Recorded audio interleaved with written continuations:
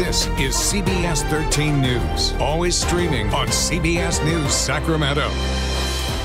Here are the top stories at 4:30. A string of peeping toms and indecent exposure incidents in Davis have women on high alert, but police say it's not clear if it's the same person.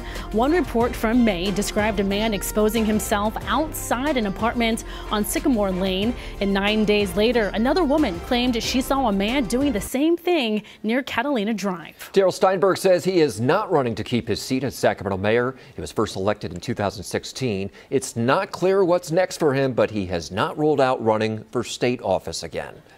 In the Memorial Day weekend holiday travel rush is underway. More than 100,000 travelers will pass through the Sacramento International Airport this weekend, set up to see pre-COVID level travel. AAA predicts this holiday weekend could be the busiest since 2005. A Sacramento viewer says she went in for an endoscopy but ended up billed